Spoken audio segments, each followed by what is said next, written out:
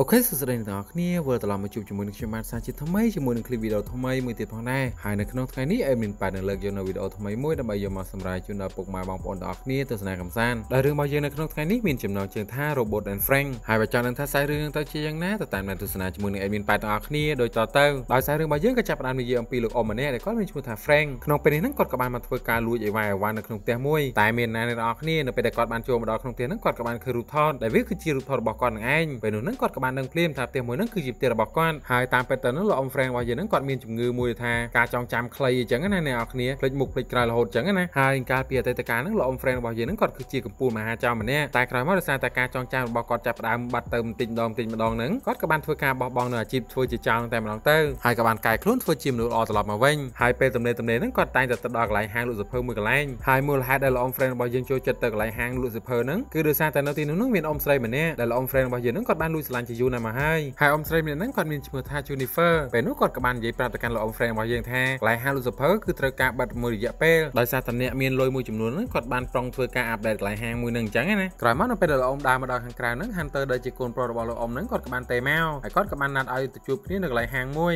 តែកូនប្រុសរបស់គាត់ក៏បាននិយាយមកប្រាប់លោកប៉ាគាត់ថាអាហាងដែលប៉ាឯងចង់ឲ្យខ្ញុំទៅជួបហ្នឹងឥឡូវគេបិទអស់រយៈពេល15ឆ្នាំហើយហ្នឹងប៉ាហើយលោកអ៊ំ friend ហ្នឹងគាត់មិនជឿនោះទេគាត់ក៏បានដើរមកមើលដោយខ្លួនឯងក្នុងពេលនោះហ្នឹងលោកអ៊ំ friend ហ្នឹងគាត់ក៏បានឃើញថាអាហាងមួយហ្នឹងបានខ្លាយទៅជាហាងលក់សាប៊ូបាត់ទៅហើយក្រោយមកទៀតហ្នឹងលោកអ៊ំ friend គាត់ក៏បានចូលមកដល់ក្នុងហាងហើយដោយសារតែពីមុនមកហ្នឹងគាត់ធ្លាប់ធ្វើជាចោរណាអ្នកនរគ្នាក៏ធ្វើឲ្យគាត់ហ្នឹងហាមចិត្តខ្លួនឯងមិនបាននោះទេគាត់ក៏បានធ្វើការលួចសាប៊ូប្រមាណដុំហ្នឹងដាក់ចូលទៅក្នុងកប៉ាល់ខោរបស់គាត់ទៀតហើយនៅពេលដែលគាត់កំពុងតែធ្វើដំណើរត្រឡប់ទៅផ្ទះវិញហ្នឹងកូនប្រុសរបស់គាត់ហ្នឹងក៏បានបើកឡានមកតាមពីក្រោយហើយគាត់ក៏បានសួរទៅកាន់ Frank ថាខ្ញុំតាមដានរកប្រអែងលើមកជាហៀងភូមិហើយរកមិនចង់ឃើញក្រោយមកនៅពេលដែលអ្នកទាំងពីរបានមកដល់ផ្ទះហ្នឹង Hunter ហ្នឹងគាត់ក៏បាននិយាយទៅកាន់លោកអ៊ំ Frank ថាលោកប៉ាគួរតែរស់នៅកន្លែងដែលមានអ្នកមើលថែគ្រប់គ្រាន់ជាពិសេសគួរតែនៅកន្លែងដែលមានពេទ្យល្អៗនិងអ្នកមើលថែអ្នកជំងឺភ្លេចភ្លាំងដូចជាប៉ាអញ្ចឹងតែលោកអ៊ំ Frank ហ្នឹងគាត់ក៏បានបដិសេធហើយគាត់ក៏បាននិយាយថាគាត់នឹងរស់នៅទីនេះទោះបីជាការចងចាំរបស់គាត់នឹងខូចឬក៏យ៉ាងណាក៏ដោយកូនប្រុសរបស់គាត់នៅពេលដែលឮបែបហ្នឹងគាត់ក៏បានធ្វើការសម្រេចចិត្តទិញមនុស្សយន្តមួយយកមកឲ្យលោកប៉ារបស់គាត់តែមើលទៅមុខលោកអ៊ំ Frank ហ្នឹងដូចជាមិនសូវសប្បាយចិត្តប្រហែលនោះទេអ្នកទាំងអស់គ្នាក៏ដោយសារតែគាត់ហ្នឹងមិនសូវចូលចិត្តជាមួយនឹងមនុស្សយន្តអីនឹងនោះឡើយក្រោយមក Hunter គាត់ក៏បានធ្វើការបើកឡានចេញពីកន្លែងមួយហ្នឹងបាត់ទៅ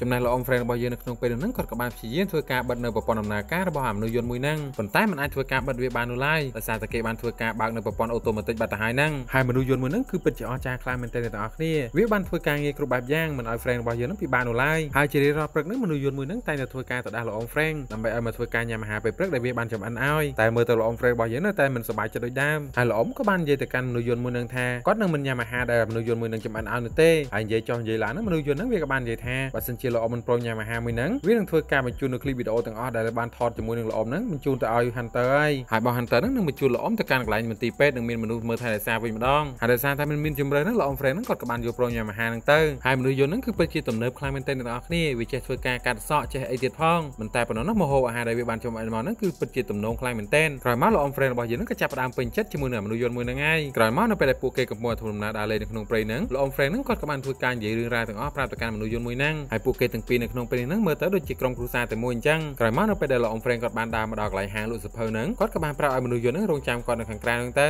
ក្រោយមកលោកអ៊ំ Frank ហ្នឹងគាត់ក៏បានចូលមកដល់ខាងក្នុងតែមិនបានជួបជាមួយនឹងអ៊ីស្អានដែលគាត់បានលួចស្រឡាញ់នោះទេដោយសារតែនៅក្នុងពេលនេះហ្នឹងគេបានផ្លាស់ប្ដូរអ៊ីស្អានហ្នឹងដាក់ជាមនុស្សយន្តវិញហើយក្រោយមកលោកអ៊ំគាត់ក៏បានទៅសួរពូជេកដែលបងជេកហ្នឹងគាត់គឺជាអ្នកធ្វើការចាយលុយទាំងអស់នៅក្នុងការសាងសង់អគារថ្មីថ្មីនិងអាប់ដេតនៅក្នុងហាងមួយហ្នឹងរំពេលនោះ East Art Jennifer ហ្នឹងគាត់ក៏បាននាំលោកអ៊ំ Frank ចូលទៅមើលសភៅមួយដែលសភៅមួយហ្នឹងគឺជាសភៅបុរាណណាអ្នកនរគ្នាហើយមិនតែប៉ុណ្ណោះសភៅមួយហ្នឹងគឺមានតម្លៃថ្លៃថ្លៃមែនទែនគឺអាចធ្វើការទិញផ្ទះនិងឡានទំនើបឲ្យ admin 8G បានមួយគ្រឿងទៀតផងហើយមូលហេតុដែលវាថ្លៃបំផុតបែបហ្នឹងគឺដោយសារតែវាហ្នឹងមានតែមួយក្បាលប៉ុណ្ណោះនៅលើលោកយើងហ្នឹងក្រោយមកទៀតហ្នឹងលោកអ៊ំ Frank ហ្នឹងគាត់ក៏បានដើរចេញមកខាងក្រៅវិញគាត់ក៏បានឃើញថាមនុស្សយន្តរបស់គាត់ហ្នឹងក៏ត្រូវបានពួកក្មេងៗធ្វើបាបគាត់ក៏បានប្រាប់ទៅកាន់មនុស្សយន្តហ្នឹងថាថ្ងៃក្រោយបើសិនជាគេធ្វើបាបឯងឯងត្រូវនិយាយថាប្រព័ន្ធដំណើរការដើម្បីបំផ្ទុះខ្លួនឯងកំពុងតែដំណើរការហើយហើយពួកក្មេងៗទាំងអស់ហ្នឹងវាមិនហ៊ាននៅចិត្តឯងទេនៅពេលដែលលឺបែបហ្នឹងព្រោះថាវាខ្លាចដាច់ផ្លោកណាហើយក្រោយមកទៀត Frank គាត់ក៏បានដើរមកដល់កន្លែងហាងលក់សាប៊ូម្ដងទៀតដោយសារតែគាត់គិតថាកន្លែងហាងមួយហ្នឹងគឺជាហាងលក់ម្ហូបអាហារហើយអ្វីដែលសំខាន់ហ្នឹងគឺគាត់មកម្ដងណាក៏លួចសាប៊ូគេទៅម្ដុំដែរអ្នកនរគ្នាតែសយលើកនេះដោយសារតែម្ចាស់គេហ្នឹងមកតាមតាន់លោកអ៊ំ Frank នៅពេលដែលឃើញបែបហ្នឹងគាត់ក៏បានបញ្ញាបញ្ញាយករបស់របរគ្រប់យ៉ាងដាក់ទៅកន្លែងដើមវិញ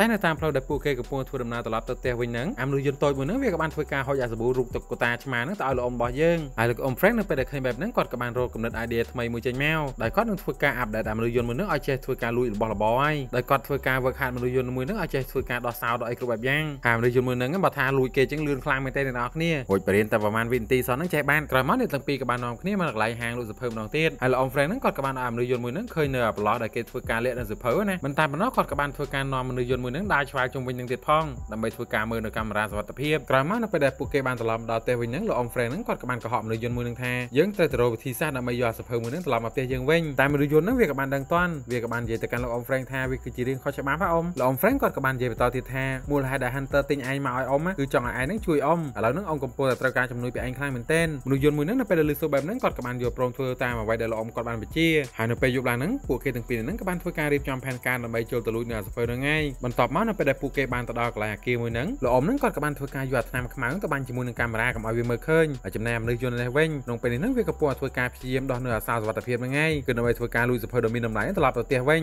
ហើយទីបំផុតពួកគេក៏បានធ្វើការយកអាសភៅបុរាណហ្នឹងមកបានសម្រេចពិតមែនប៉ុន្តែនៅពេលដែលគេត្រឡប់មកផ្ទះវិញហ្នឹងលោកអ៊ំហ្វ្រេងហ្នឹងគាត់ក៏បានភ្លេចវ៉ែនតានៅកន្លែងមួយហ្នឹងហើយថ្ងៃដែលគេធ្វើការសម្ពោធនៅហាងលក់សភៅនឹងសាជាថ្មីហ្នឹងក៏បានមកដល់លោកអ៊ំហ្វ្រេងហ្នឹងគាត់ក៏គិតថានឹងយកអាសភៅដ៏មានតម្លៃថ្លៃបំផុតហ្នឹងយកមកឲ្យអ៊ីស្អានហ្នឹងឯងប៉ុន្តែនៅក្នុងពេលហ្នឹងគាត់មិនមានឱកាសនៅក្នុងការឲ្យសភៅនឹងឡាយហើយចំណែកជេកនេះវិញមើលទៅគាត់ហ្នឹងដូចជាដឹងរឿងពិតអញ្ចឹងប៉ុន្តែដោយសារតែមិនមានផុសតាំងគ្រប់គ្រាន់ហ្នឹងគាត់ក៏មិនអាចធ្វើការចាក់កំហុសលោកអ៊ំហ្វ្រេងយើងបានឡើយហើយលោកអ៊ំហ្វ្រេងគេនិយាយជាមួយអត់មានមើលមុខគេទេអ្នកនរគ្នានៃរបស់គាត់ទៅមើលខ្សែកគេអីណាក្រោយមកទៀតហ្នឹងគាត់ក៏បានត្រឡប់មកដល់ផ្ទះរបស់គាត់វិញហើយក៏បានធ្វើការរៀបចំផែនការដើម្បីទៅប្លន់អាខ្សែកហ្នឹងហើយអញ្ចឹងមិនថាអ្នកនរគ្នាអាស្ទាយចោលនៅចោលដែរទោះបីខ្លាចជាទូឯងក៏នៅតែចោលដែរហើយទោះបីជាមនុស្សយន្តមួយហ្នឹងវាព្យាយាមប្រាប់ទៅកាន់លោកអ៊ំហ្វ្រេងថាអ្វីដែលគាត់កំពុងតែធ្វើហ្នឹងវាខុសច្បាប់យ៉ាងណាក៏ដោយក៏គាត់ហ្នឹងមិនព្រមស្ដាប់មនុស្សយន្តហ្នឹងដែរហើយនៅពេលយប់ឡើងហ្នឹងម៉ារីដែលជាកូនស្រីរបស់លោកអ៊ំហ្នឹងនាងក៏បានធ្វើការមកមើលលោកប៉ារបស់នាងហើយផែនការប្លន់របស់គាត់នៅក្នុងយប់ហ្នឹងហ្នឹងក៏មិនបានសម្រេចនោះដែរមិនតែប៉ុណ្ណោះហ្នឹងនៅក្នុងយប់ហ្នឹងនាងក៏បានធ្វើការបិទនៅប្រព័ន្ធដំណើរការរបស់មនុស្សយន្តហ្នឹងទៀតដោយសារតែនាងហ្នឹងចង់ធ្វើការមើលថែប៉ារបស់នាងនៅខ្លួនឯងហើយ Frank នៅពេលដែលឃើញបែបហ្នឹងក៏អ៊ូអានមកក្នុងអារម្មណ៍ខ្លាំងមែនទែនរួចតាំងពីណាពីណីវាមិនព្រមប្រកាច់មកមើលអញអញពូរៀបចំផែនការប្លន់វាមកធ្វើការបិទអីណា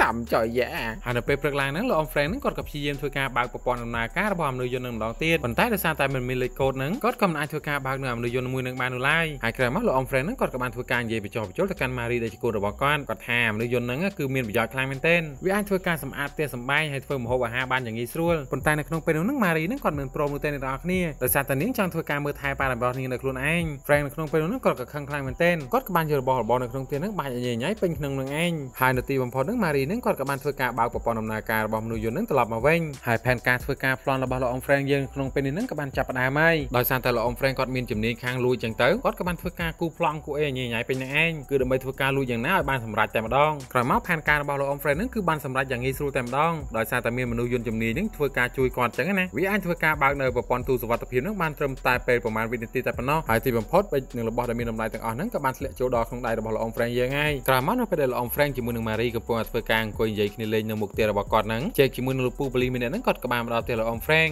ដោយសារតែគាត់ហ្នឹងបានសង្ស័យថាលោកអ៊ំ Frank ហ្នឹងគឺជាអ្នកចូលទៅប្លន់ផ្ទះរបស់គាត់ប៉ុន្តែមិនមានផុសតាងអ្វីនោះឡើយអ្នកនរគ្នាទៅធ្វើគាត់ហ្នឹងមិនអាចធ្វើការចាប់លោកអ៊ំ Frank របស់យើងបាននោះទេហើយថ្ងៃបន្តមកទៀតហ្នឹង Marie ហ្នឹងគាត់ក៏បានធ្វើការត្រឡប់ទៅធ្វើការរបស់នាងវិញហើយប៉ុន្តែមុនពេលដែល Marie គាត់បានត្រឡប់ទៅហ្នឹងលោកប៉ារបស់ Marie ហ្នឹងគាត់ក៏បានធ្វើការឲ្យកវលពេជ្រមួយគូហ្នឹងទៅកាន់នាងដើម្បីធ្វើជារង្វាន់ឲ្យកូនស្រីរបស់គាត់ហើយក្នុងពេលនោះហ្នឹង Marie ហ្នឹងគាត់ក៏បានដឹងភ្លាមថារឿងរ៉ាវទាំងអស់ហ្នឹងគឺជាស្នាដៃរបស់លោកប៉ានាងនឹងឯងតែ Marie របស់យើងហ្នឹងគាត់មិនខ្វល់ឬទេអ្នកនរគ្នាដោយសារតែពីមុនពីមុនមកហ្នឹងនាងក៏ធ្លាប់ធ្វើការឲ្យលោកប៉ារបស់នាងដែរហើយនៅពេលដែលពួកគេធ្វើការលាគ្នាហើយហ្នឹងលោកអ៊ំ Friend ហ្នឹងគាត់ក៏បានដាក់ភ្នែកទៅឃើញឡានប៉ូលីសតែប៉ែប៉ូលីសហ្នឹងតែងតែធ្វើការលួចមើលគាត់ជានិច្ចក្រោយមកលោកអ៊ំ Friend ហ្នឹងគាត់ក៏បាននាំមនុស្សយន្តរបស់គាត់ហ្នឹងចូលដល់ក្នុងផ្ទះហើយក៏បានធ្វើការបំផ្លាញនៅផុសតាងផ្សេងៗទាំងអស់ចោលហើយមនុស្សយន្តហ្នឹងក៏បាននិយាយប្រាប់លោកអ៊ំ Friend ថាវានៅមានផុសតាងមួយទៀតវាគឺជាការចងចាំរបស់ខ្ញុំនឹងឯងហើយដើម្បីសុវត្ថិភាពសូមលោកអ៊ំបញ្ជាឲ្យខ្ញុំធ្វើការលុបនៅការចងចាំទាំងអស់នឹងចោលតែលោកអ៊ំ Friend ហ្នឹងគាត់ក៏បានបដិសេធដោយសារតែគាត់ហ្នឹងមិនចង់ធ្វើការបំផ្លាញនៅទំនាក់ទំនងល្អរបស់គាត់ជាមួយនឹងមនុស្សយន្តនឹងឡើយក្រោយមកលោកអ៊ំគាត់ក៏បានធ្វើការយកពេជ្រដែលគាត់បានលួចមកហ្នឹងយកទៅលាក់ហើយក៏បានប្រឡងខ្លួនធ្វើជាមានជំងឺធ្ងន់នេះចឹងណាហើយក៏បានតែឲ្យ Hunter ដែលជាកូនប្រុសរបស់គាត់ហ្នឹងមកមើលហើយ Frank គាត់ក៏បានឲ្យកបោបមួយហ្នឹងទៅកាន់ Hunter ប៉ុន្តែប៉ុណ្ណោះគាត់ក៏បានប្រាប់ទៅកាន់ Hunter ថាឲ្យយកអាកបោបមួយហ្នឹងយកទៅលាក់ឲ្យស្រួល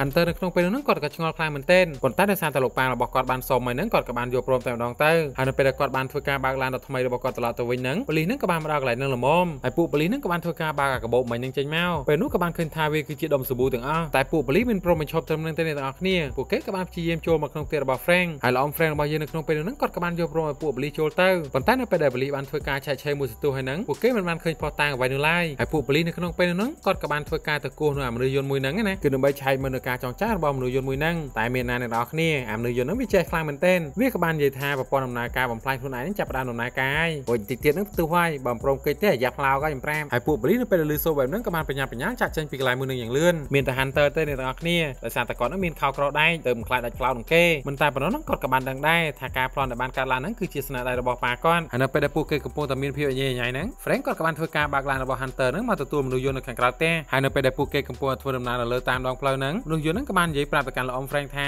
ឲ្យលោកអ៊ំហ្នឹងបជាវាធ្វើការលុបនៅការចងចាំទាំងអស់នឹងចោលទៅតែលោកអ៊ំហ្វ្រេងរបស់យើងហ្នឹងក៏ឌឺខ្លាំងមែនទែនអ្នកទាំងអស់គ្នាគាត់មិនព្រមអនុញ្ញាតឲ្យមនុស្សយន្តមួយហ្នឹងធ្វើការលុបនៅការចងចាំទាំងអស់នឹងចោលឡើយហើយក្រោយមកហ្នឹងគាត់ក៏បានមកដល់ផ្ទះរបស់លោកអ៊ំស្រី Jennifer អាបៀបថាកិច្ចខ្លួនមកនៅនឹងមួយរយៈចឹងណាតែមានណាអ្នកទាំងអស់គ្នានៅក្នុងពេលនោះហ្នឹងគាត់ក៏បានដាក់ភ្នែកទៅហ្នឹងឃើញរូបថតរបស់គាត់តាំងតែពីគាត់នៅសង្ហាណាលោកអ៊ំហ្វ្រេងនៅពេលដែលឃើញបែបហ្នឹងគាត់ក៏និយាយអីមិនចេញដែរដោយសារតែគាត់ហ្នឹងបានគិតថាគាត់ទៅតែស្គាល់អ៊ីស្អាត Jennifer តែតាមពិតទៅហ្នឹងពួកគាត់ធ្លាប់បានរៀបការជាមួយគ្នាហើយហើយមិនតែប៉ុណ្ណោះក៏មានកូនដែលជា Hunter ហើយនិង Marie ទៀតផងលោកអ៊ំ Frank នៅពេលដែលឃើញបែបហ្នឹងគាត់ទទួលយកមិនបានទេគាត់ក៏បានដើរចេញពីផ្ទះមួយហ្នឹងមកខាងក្រៅផ្ទះតែម្ដងនៅពេលដែលគាត់បានដើរត្រឡប់មកដល់ផ្ទះរបស់គាត់វិញហ្នឹងពួកប៉ូលីសហ្នឹងក៏បានរងចាំគាត់ល្មមហើយលោកអ៊ំ Frank នៅពេលដែលឃើញបែបហ្នឹងគាត់ក៏បានធ្វើការបិទទ្វារហើយក៏បានបញ្ញាបញ្ញាឡើងទៅជាន់ខាងលើហើយជំរឿនដែលល្អចុងក្រោយបំផុតហ្នឹងគឺការលុបបំផ្លាញនៅការចងចាំរបស់មនុស្សយន្តនឹងចោលទាំងអស់ដោយសារតែមិនមានជំរឿនលោកអ៊ំ Frank របស់យើងហ្នឹងក៏បានសម្រេចចិត្តធ្វើការ reset អាមនុស្សយន្តមួយហ្នឹងទៅហើយជាច្រើនថ្ងៃក្រោយមកហ្នឹងលោកអ៊ំ Frank ក៏ត្រូវបានគេបញ្ជូនមកកាន់កន្លែងដែលគេមើលថែមនុស្សចាស់ហើយជារៀងរាល់អាទិត្យហ្នឹង Jennifer ជាមួយនឹងកូនកូនរបស់គាត់ហ្នឹងក៏តែងតែមើលមើលលោកអ៊ំ Frank របស់យើងជានិច្ចដោយសារតាំងតែពីមនុស្សយន្តនឹងវាបានចាក់ចេញពីលោកអ៊ំ Frank ទៅហ្នឹងពួកឲ្យលោកអ៊ំ Frank របស់យើងហ្នឹងឯកោខ្លាំងមែនទែនគឺឯកោដូចជា admin ប៉ែនអញ្ចឹង